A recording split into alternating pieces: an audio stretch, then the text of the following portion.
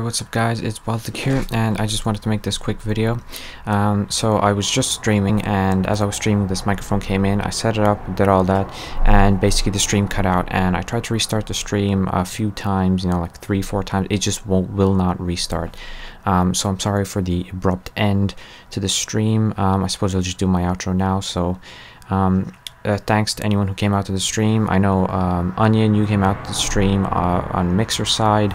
Um, I know that uh, Mr. Kuna, you came out to the stream as well on the Twitch side. And let me actually bring up my chat here so I can um, properly thank everyone here. Um, okay, chat reset, never mind. Um, I know a couple of people came out to YouTube as well, so thank you for that. I should be streaming again tomorrow. Um, if and when I do, I'll let you know on Twitter.